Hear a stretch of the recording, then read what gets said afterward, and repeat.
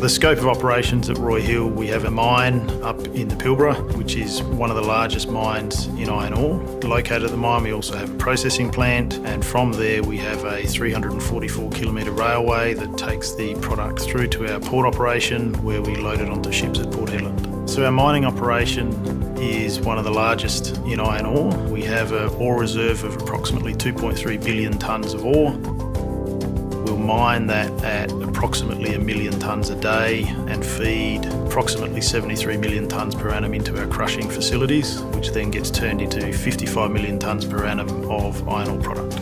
So when Roy Hill first began, we had the opportunity with a blank piece of paper to really design the operations from scratch. And one of the things that Barry, our CEO, and uh, a couple of the early members of the team were very passionate about was building an integrated operating model. It enabled us to rethink how is it that we would run an end-to-end mining business and, and do that in a way that has never been realised before.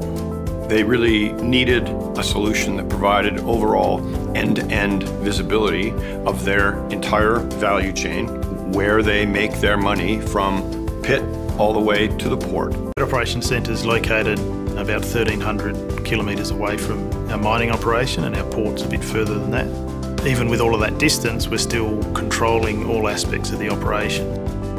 Roy Hill has put a lot of thought into how their people collaborate, how they make sure that they uh, make the best decisions, how they make sure that they have the right information in the hands of their people.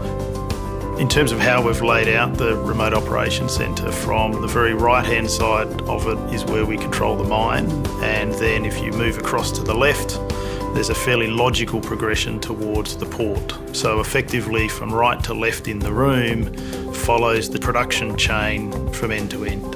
The other arrangement in terms of from front to back is really around time. So the further away you are from the action, the further back in the room you sit. People can collaborate effectively because they sit right next to each other. Underneath that, we see a technology landscape that meets that same model so that if we have people collaborating uh, on a day-to-day basis, we're also providing them with all the right information to enrich the conversation even further.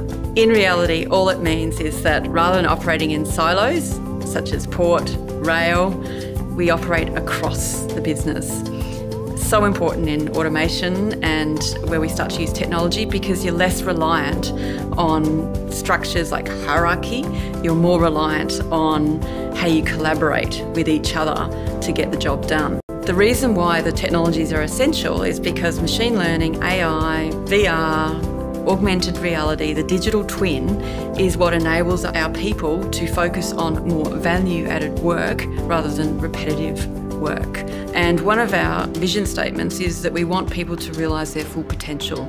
So it is about being a high performing business, but it's also about people realising their full potential. Trying to empower those people to fulfil their full potential. That's what Roy Hill uh, sought to achieve when they started out.